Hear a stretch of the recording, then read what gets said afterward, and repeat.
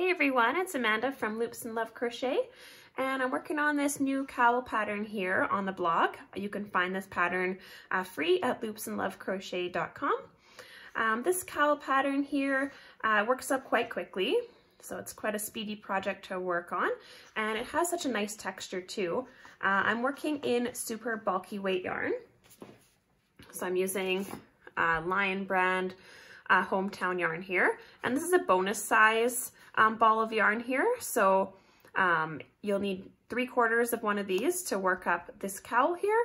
Um, otherwise, if you have the smaller ones, uh, you'll need two of those ones for this project here. And as recommended by the yarn, uh, I'm also using a nine millimeter crochet hook here too. Okay, before we get started, let's look at this cowl a little bit closer here.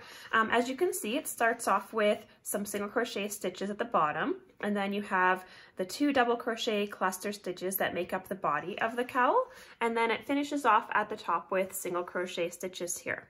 Now, you can easily alter the size of this uh, cowl here if you want to make it longer. Uh, you can easily start with a longer foundation at the start of the pattern or a longer chain. And then if you'd like to make it taller, uh, you can also uh, just add more rounds of the double crochet, two double crochet clusters um, before you get to the top where you work the single crochet stitches. So this pattern's easily to adapt to whatever size of cowl that you'd prefer. And with the super bulky weight yarn, it's so nice and cozy and soft to wear here. All right, let's get started. Okay, to start this project, um, the pattern uh, calls for working uh, 54 foundation single crochet stitches. Um, I prefer to start projects like this with a foundation instead of a starting chain, um, but you can do either.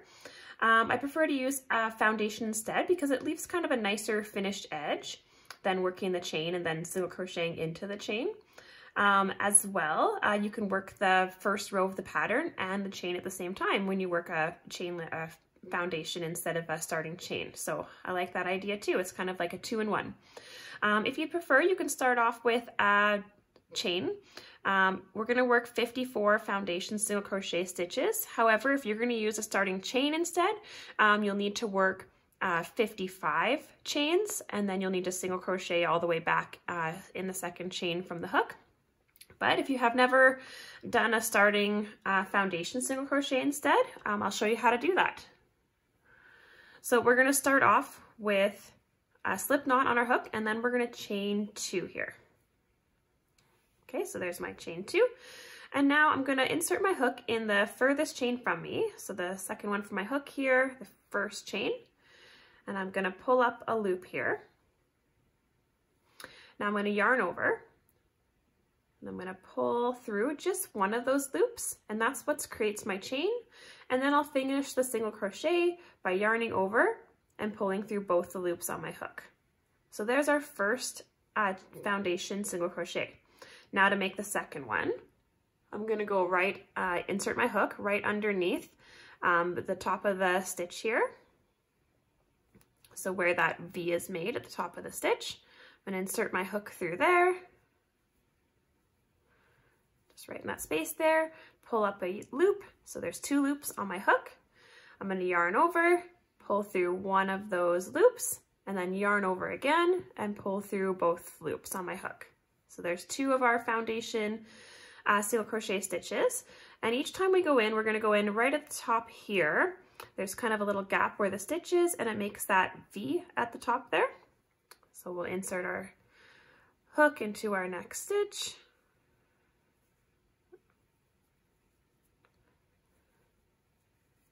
yarn over, pull up a loop, yarn over, pull through one of the loops, yarn over, pull through two of them. Now, if you'd like to see a closer video tutorial on the foundation single crochet stitch, um, I do have a video on my YouTube channel, which I will link in the pattern to just working a foundation single crochet if you'd like to practice that a little bit more before you go into the rest of the pattern here but we're gonna just make, we're gonna make 54 foundation single crochet stitches. So we're gonna continue on all the way uh, to 54, making those foundation uh, single crochet stitches. And when you're done, it should be roughly 28 inches. So when you're done, you can measure that out. And if you're changing the size of the pattern, if you'd like to make a longer cowl, um, you need to start with a longer foundation or chain. Um, so you'll need to choose kind of how long you want to make it, uh, however many inches you'd like to make it, which is fine, um, as long as your foundation or number of stitches is an even number um, after you're done, because you'll need that for your two double crochet clusters to work out. You'll need to have an even uh, stitch count. All right, I'm going to continue on making these 54 foundation single crochet stitches here. So here's our foundation so far.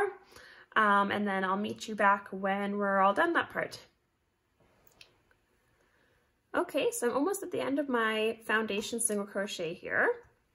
Uh, I just have two more left to do, so I'll just finish those last two here. And then I'm going to show you how to join it together, so then we'll be working um, in the round.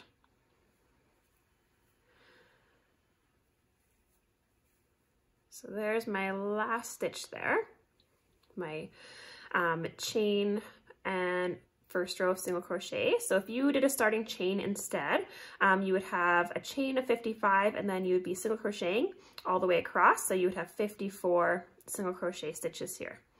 So now here, now that we're done here, we're gonna join this together. So we're gonna join our last stitch of our foundation single crochet to our first stitch here. So here I have the right side uh, facing me, making sure that you don't twist the chain here. Uh, we're going to join the last foundation stitch here with a slip stitch to the top of the first stitch here. So here's our last stitch here.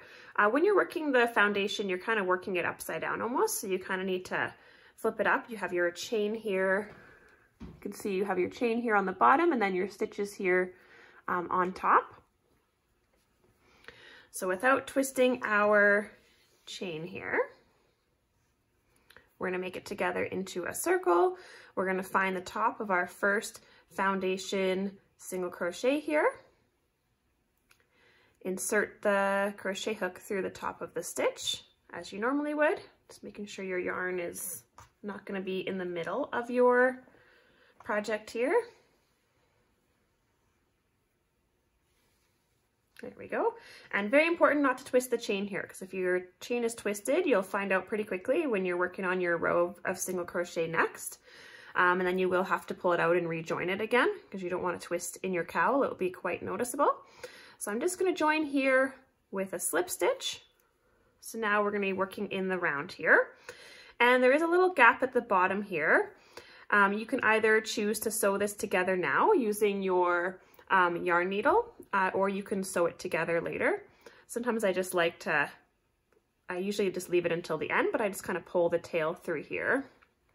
So it kind of closes the gap a little bit while I'm working on it. And then you can use your yarn needle to stitch that up later, whenever you'd like. So now that it's joined, I'm gonna chain one, and then I'm just gonna single crochet in each stitch around. So the top of each stitch all the way around, um, since I have 54 foundation single crochet stitches, um, I should also have 54 single crochet stitches in this round of the pattern here. And notice how we're working in the round instead of in rows now. So when we get to the end, we're gonna join to the top of the first uh, single crochet with a slip stitch. So I'm gonna continue all the way around here. And when we get to the other end, um, I'll show you how to join that and start the first round of the two double crochet cluster stitches. Okay, so now we're all the way back at the other end here, um, all the way around. This is my last single crochet stitch of the round here. Um, and then I'm going to join with a slip stitch into the top of the first single crochet of the round here. So make that slip stitch, Pull that nice and tight. All right, and now we have our first part of our cowl here. And it will kind of stretch out as you work on it here too.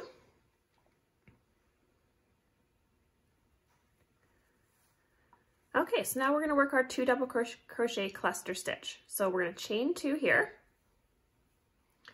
And then we're gonna be working two, two double crochet um, work one two double crochet cluster um, in every other stitch here um, with chain one stitches in between. So a two double crochet cluster is the same as double crochet two together or double crochet decrease, um, except you're working it together in the same stitch and you're not working it joining two stitches together.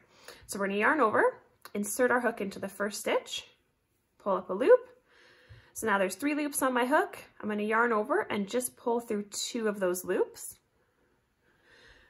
And then I'm going to yarn over again, insert my hook back into the same stitch, pull up a loop. There's now four loops on my hook. Yarn over, pull through two of those loops, and then I'm going to yarn over again and pull through the last three loops on my hook. So there's my two double crochet cluster. It's kind of like you make two, you do half double, or the double crochet, you work it halfway up, and then you join the two together at the end here. And then we're to do a chain one. We're to skip the next stitch and then we're to do a two double crochet cluster in the next stitch. So I'm to yarn over, skip that next stitch, go into the next one, pull up a loop, yarn over, pull through two loops, yarn over, insert my hook into the same stitch, pull up a loop, yarn over, pull through two loops, and then yarn over, pull through all three loops. So there's the second one. Skip the next stitch, complete the next two double crochet cluster here. And chain one. Skip the next stitch.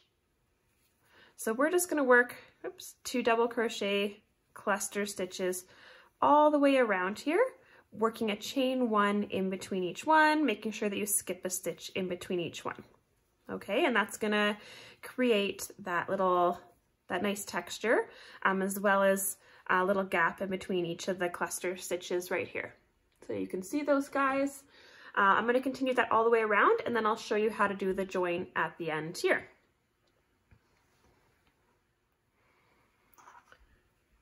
Okay, we're almost all the way around here. I just have one more two double crochet cluster stitch to go. So just this last one here.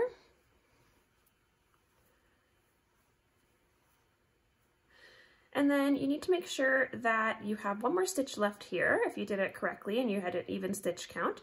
Um, when you're done, you'll have 27 uh, clusters if you were working with the same stitch count um, as we had. Uh, basically, your number of clusters should be half of whatever your stitch count was. Um, and then we're going to end with a chain one because you always need a chain one after this two double crochet cluster in this pattern here. And then we're going to join with a slip stitch to the top of the first two double crochet cluster. So that's this first one here, not the chain one. We're going to go in the top of the of the cluster here. So underneath both loops of that V, and we're going to make a slip stitch to join. Um, now we're not going to chain two here. Um, we're going to be working our two double crochet cluster stitches in each of the spaces uh, between the clusters from this previous round here. So we're going to do a slip stitch here um, into our first space here after this first cluster where the space is. We're going to slip stitch over into that space there. And then from here, we're going to work our chain two. And then we'll work our two double crochet cluster in this space. So you're just going to work your hook into that big space there. Work your two double crochet cluster, chain one, and then you're going to work in the next cluster space here. So you're just going to continue around um, all the way around working your two double crochet cluster in each of the cluster spaces uh, from the previous round, making sure to chain one after each of the cluster stitches.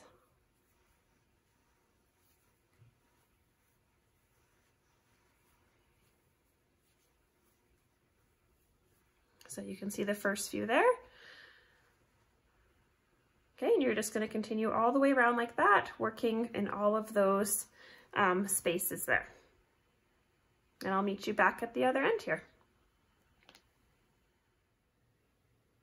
Okay, I'm now back around at the last two double crochet cluster stitch um, of the round here. So I'm just working in that space from the previous round. Now you'll end uh, with a chain one because you're always chaining one here after these clusters for this pattern.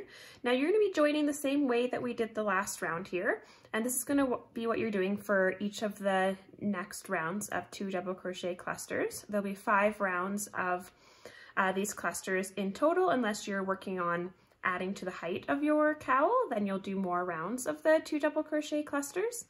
Um, so what we're going to do is join with a slip stitch again to the top of the first two double crochet cluster.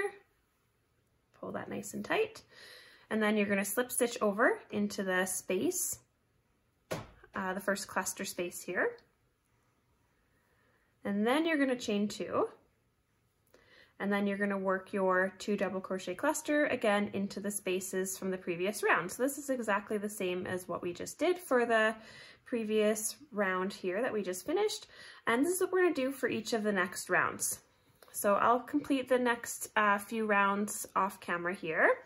And then I'll meet you back uh, when those rounds are finished and then we can work on uh, finishing up the cowl with the single crochet stitches at the top and then uh, finishing it off. Okay, I finished all the way around the five rounds of the two double crochet cluster stitches here. Um, we have all five rounds, one, two, three, four, five. And now I'm just gonna join to the top of the first uh, cluster stitch here with a slip stitch. And then we're gonna chain one. And then we're just gonna work on our two rounds of single crochet stitches. So for this first one, we're gonna single crochet in the top of each of the stitches around. So we'll do one single crochet in the top of the cluster stitch here. And then we'll do one single crochet um, in the space here between the clusters. So one in the top of the cluster and one in the uh, space. And when you're done, you should have 54 single crochet stitches. So kind of the same stitch count that we started with. So if you started with a different stitch count, yours will be the same as whatever you had for your first round there. And then we'll just keep going around all the way like that. One single crochet in the top of each of the cluster stitches, and then one in the space in between. So I'll finish off that, and then I'll meet you back at the end of this round. Okay, so we've now completed this round here of single crochet and then we just have one more round of single crochet to go until we get to the end of this cowl pattern here. So I'm just gonna join the top of the first single crochet with a slip stitch here. And then this last round here is just making regular single crochet stitches in each single crochet stitch from the previous round here. And it should be, if you worked with the same stitch count um, as the pattern, when you're done, you should have 54 uh, single crochet stitches when you're finished. And then we'll join to a slip stitch at the end, and then we'll be all finished. So I'll meet you back at the end of this round here, and then we'll just be finishing up. Okay, so here's our last single crochet stitch of this cowl pattern here. And then we're gonna join to the top of the first single crochet with a slip stitch and pull that through. Um, I've already cut my yarn here, but you would cut your yarn, pull it all the way through. And here, you're all finished your, your cowl here. So I hope you enjoyed making this pattern here. Um, all that's left here now is using your yarn needle to weave in this end and to uh, sew together this uh, gap here at the bottom just by weaving in this end through the bottom of the first row of single crochet here um, to make that nice and tight there with your yarn needle. And then otherwise, your cowl is now finished. So I hope you liked making this crochet pattern here. Um, remember, you can find this pattern um, free on the blog, loopsandlovecrochet.com. And I'd love it if you subscribe to this YouTube channel and follow Loops and Love Crochet on Facebook and on Instagram. All right, thanks for watching.